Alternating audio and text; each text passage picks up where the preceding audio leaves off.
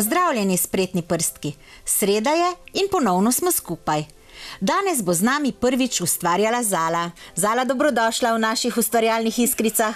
Sama upam, da ti bo všeč pri nas in da se boš še kdaj v prihodnosti vrnila.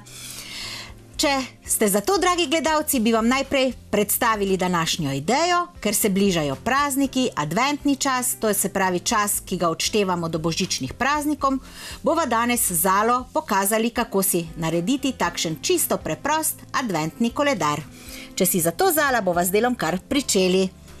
Za izdelavo adventnega koledarja potrebujemo obešalnik, valovitko, spenjač, zelen trši papir, šablono smrečice, rjav trši papir, bel mehek papir, črn in rdeč flomaster, lepilo za papir, škarje in izsekovalec zvezdic. In najbolje je, da z delom kar pričneva. Osnova najnega koledarja oziroma obešalnik bova potrebovali za to, da bomo potem tale adventni koledar obesili na steno. Za letos že imaš adventni koledar? Ne še. To se pravi ravno prav, da ga bova naredili danes. Sedaj bova naredili tole podlago, ki jo bova pripeli na obešalnik. In sicer tako, da se valovitka se lepo oblikuje po teh črtah valovitih in črte bova postavili bodo ravno in potem kot tako obešanko tale najn najn obešalnik pripeli, takole pripogneva dobro stisneva in potem boš na obeh robovih spela s penjačem. In to bo osnova našega koledarja. Takole. Malce je valovitka debelejša, bo, boš dovolj močna, boš pa še mogoče enkrat, da bo zares držalo. Tako, pa še na drugi strani na drugi strani bo malce težje, boš pa pazila, ker je noter tale plastika, da boš v tem spodnjem delu spela. Pa bova takole stisnile. Tako. Tako pa še enkrat zgoraj pa bo do rdeče plastike. Tako, mogoče si tukaj ravno v tisto plastiko, pa bova kar takole odstranili tale najni spenjač.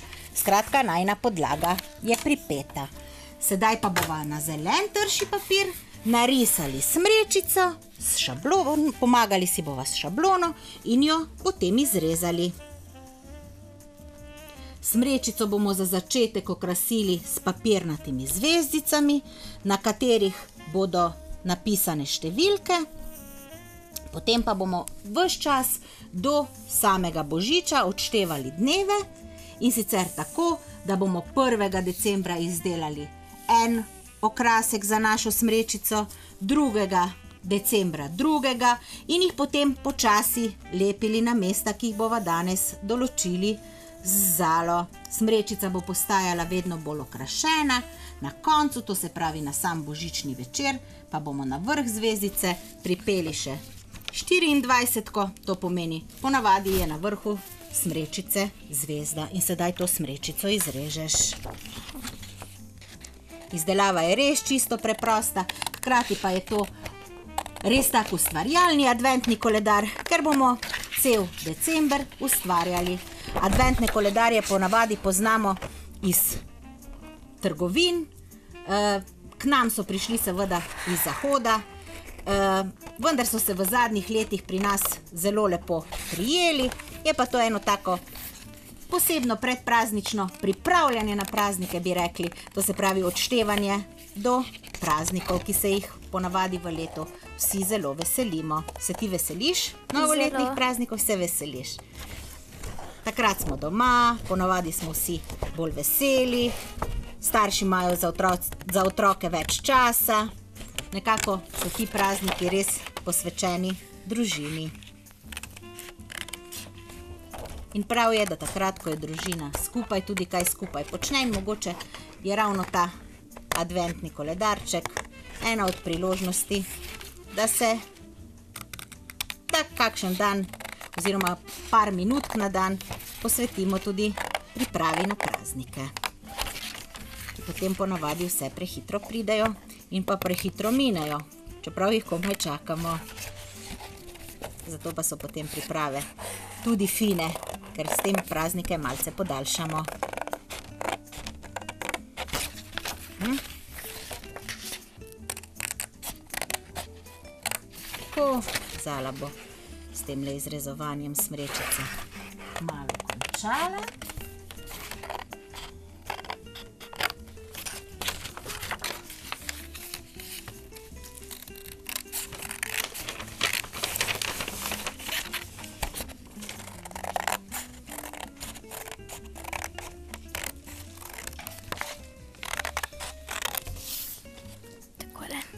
Tako, smrečica je izrezana, sedaj pa bova smrečico prilepili na tole našo valovitko. Dobro jo bova namazali z, z lepilom, sedaj pa si bova dali podlago, da bova mizo zaščitili, ker je res potrebno vse robove in tudi celotno površino smrečice dobro namazati z lepilom. Kot ponavadi rečem, z lepilom za papir ponavadi ne šparamo, skratka, smrečico namažemo po celi površini in tudi kar na debelo. Predvsem pa paziš pri teh le robovih, da greš res, zato pa je podlaga kar lepo čez vse robove.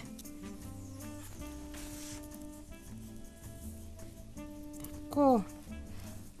Valovitka namreč ni čisto raven material in ravno zato mora biti smrečica zelo dobro namazana z lepilom, da se bo potem lepo prijela na tele valovite izbočene dele.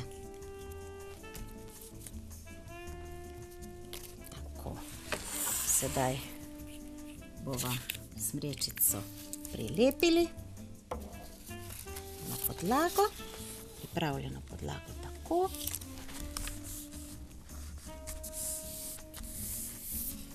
Takole pogladili. Sama bom medtem, ko boš ti izdelovala naslednje delčke za najno smrečico, malce pogladila, če bi hotela smrečica kje odstopiti, ti pa boš medtem z- iz belega papirja izrezala zvezdice.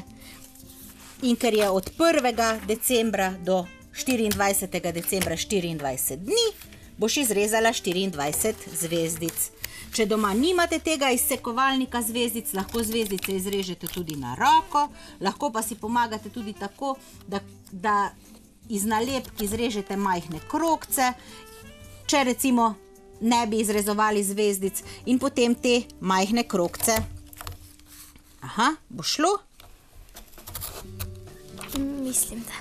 Aha, bo malce je potrebno uporabiti moč, ko pa enkrat vidiš, je pa, je pa potem izsekovanje teh zvezdic kar dosti lahko. Pa bova najprej kar cel list naokrog. Sama bom tukaj lepo iskala še črn in pa rdeč flomaster. Črn zato, da bova napisali napadne številke, zadnja številka pa naj bo rdeča, ker jo bomo najbolj težko čakali.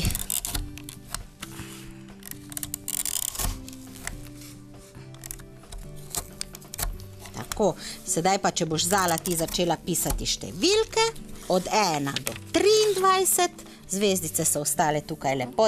Tiste zvezdice, ki so malce slabše, ker papir ni bil, ki manjka kakšen krak, pa izpustiš sama, pa ti bom pomagala zrezi, zvezdice izrezati še do konca. Kar takole na sredino tehle malih zvezdic pišeš številke od 1 do 24.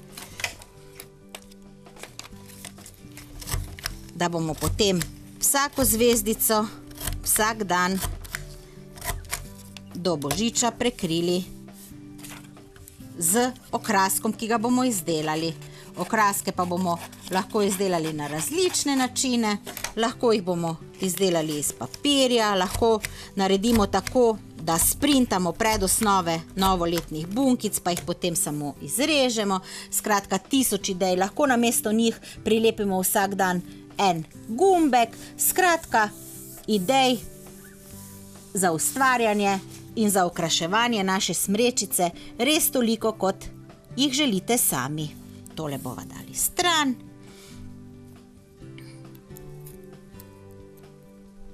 Malce se držijo skupaj, pa jih bova takole lepo napisali.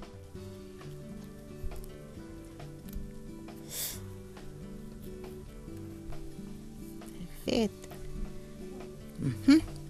Sva že pri 10. decembru, takrat bomo že čisto blizu praznikov. Še čisto malo tudi bo takrat do počitnic, hkrati bo, bo tale adventni koledar odšteval tudi čas do počitnic, ker se te novoletne počitnice za vas, šolarje, pričnejo točno 24. greste da zadnjič v šolo, 25. pa že praznujete in začenjate te novoletne počitnice.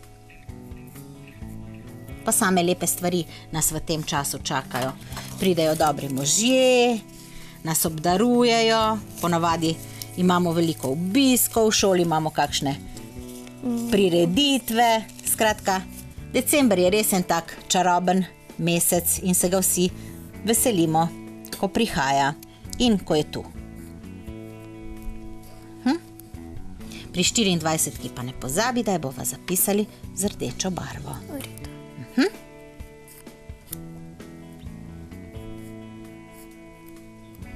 redu. Nice.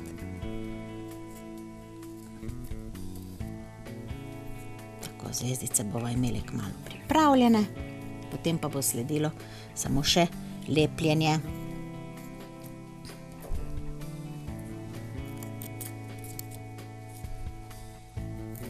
Jaz sem, sem zrezala eno premalo zgleda, ne da. Ravno 24. Tako, in tukaj le bo še 23 in 24 in jo napišeš z rdečo in to 24, ko tudi prilepiš, najprej prilepiš, tukaj le bo list spet za podlago pri lepljenju in jo prilepiš kar na vrh smrečice, sva rekle, da bomo čisto na koncu dodali na vrh smrečice. To je ravno tako, kot ko krasimo novoletno drevo, pa potem damo na vrh smrečice še zvezdo. Tako. Sedaj pa po poljubnem vrstnem redu. Ni potrebno, da so gre- gredo po vrsti 1, 2, 3, 4, ampak jih lahko potem poiščemo. Skratka, te zvezdice nalepiš na smrečico. V redu.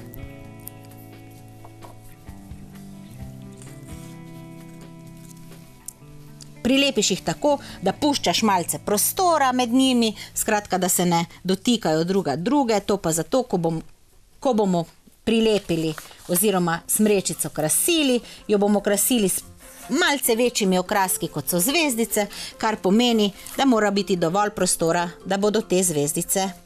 Uhum. Samo boš pa morala zvezdico kar namazati, boš jo kar po celi, a ne? površini, ker, je bo, ker drugače ti bo, bodo potem zvezdice tako. Se ti zdi, da bo laže tako, a ne prsti potem Ja. postanejo malce lepljivi, ko lepimo tele drobne stvari. K sreči je pa tole lepilo za papir takšno, da gre zelo z lahkoto, potem z umivanjem dol. In tudi, če bi ga slučajno dobili na oblačila, ga lepo vsako pranje odstrani. To se pravi, da mame po tem ustvarjanju ne bodo preveč hude, če se bomo malce popackali.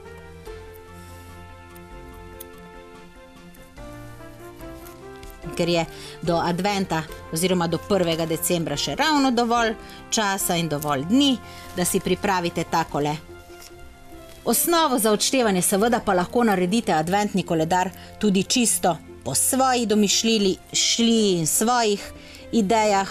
Na spletu sem videla nekaj podobnega, eh, bila je izrezana božičkova glava, pa so na podoben način, ko bom, kot bomo mi krasili smre, smrečico, izdelovali njegovo brado. Skratka, eh, na vsej njegovi bradi so bili takšni krogeci s številkami, otroci pa so potem na njo lepili majhne koščke vate in 24. decembra je bil potem božiček, to se pravi tudi dan, ko naj bi božiček prinašal darila, noč, ko naj bi božiček prinašal darila in je do takrat imel božiček takšno čisto lepo svojo brado. Lahko recimo izdelate vlak s 24 vagončki ali pa s 24 prostorčki, na katere boste lepili darilca in boste potem 24 darilc izdelali, lahko pa si naredite tudi kakšen bolj kompliciran adventni koledarček s kakšnimi nalogami za vsak dan. Mogoče družinskimi, mogoče povezanimi s tradicijo. Ne vem, da posadite oziroma posejete božično žito, da zapojete kakšno božično pesem, da se jo naučite, da greste obiskati oziroma pogledati lučke v mestu. Skratka, polno je enih takih eh, idej, eh, kako si lahko ta prihod oziroma pričakovanje praznikov še polepšamo in na- naredimo še pestrejše oziroma takšno, da bomo praznovali kar vse mesec in ne samo na koncu. Eh, Ko prazniki zares pridejo, včasih je ravno priprava na praznike um, tisto, kar potem naredi praznike, zaradi te priprave še lepše, kot, kot če samo počakamo in v vsej naglici. Seveda, vsi vemo, da je december poln mesec, da imamo vsi veliko obveznosti, vendar je kar prav, če si vzamemo čas tudi za takšno družinsko ustvarjanje. In mogoče je ravno adventni koledar stvar, ki, ki nam lahko potem pri tem pomaga. Tako Zala lepi zadnje zvezdice in njen koledar bo pripravljen. Pet, ali je ta petica? Je bila je bila aha, napisana. Grše napisana, pa jo je Zala po svoje, oziroma lepše napisala. Tako, Zala je končala s pripravo adventnega koledarja. Sedaj bova samo še počakali, da bo 1. december, da bo izrezala tukaj, le sem pripravila nalepke, prvi okrasek in ga prilepila na številko ena, kar pomeni, da smo že en dan bližje Božiču oziroma praznikom. Tako, pri koncu oddaje smo. Če vam je bila oddaja všeč, nas gledajte spet prihodnjo sredo, ko bomo ustvarjali spet kakšen praznični izdelek. Nasvidenje do prihodnjič!